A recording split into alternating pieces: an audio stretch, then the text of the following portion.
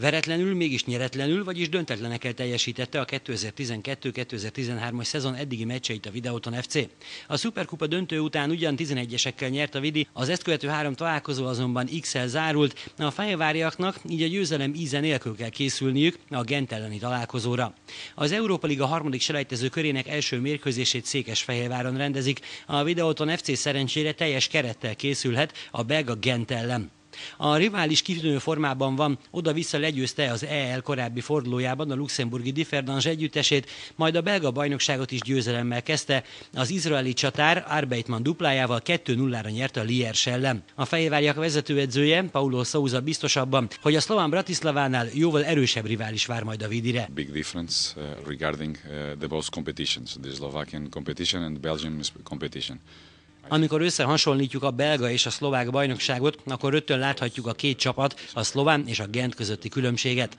A belga pontvadászat egy sokkal erősebb, sokkal intenzívebb és pörgősebb, fizikálisan is nagyobb kihívást jelentő bajnokság.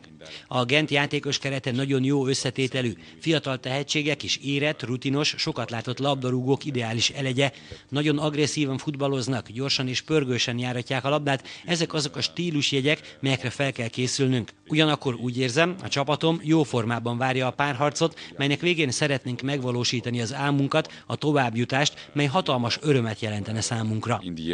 Can. A Videóton FC-nél nincsenek sérültek, Álvaro Brácsi is felépült kisebb készsérüléséből. A fejvári csapatban mindössze frissen igazolt, így az Európa Ligára nem nevezett brazil Renato Neto nem léphet pályára. Sándor György biztos abban, hogy a belga csapat ellen nagyon meg kell szenvednie a Vidinek. A piroskékek csapatkapitánya azt is tudja, milyen ellenfélre számíthat. Egy nagyon erős ellenfél, nagyon gyors játékosokkal, erős szélső játékkal, mm, kifejezetten erős csatáruk van, fizikai értelemben értem, tehát jó magas, erős, technikás is mellé. Nem játszanak annyira változatos és sokoldalú játékot, mint a szlován, viszont ritmusban, talán magasabb ritmusban futballoznak.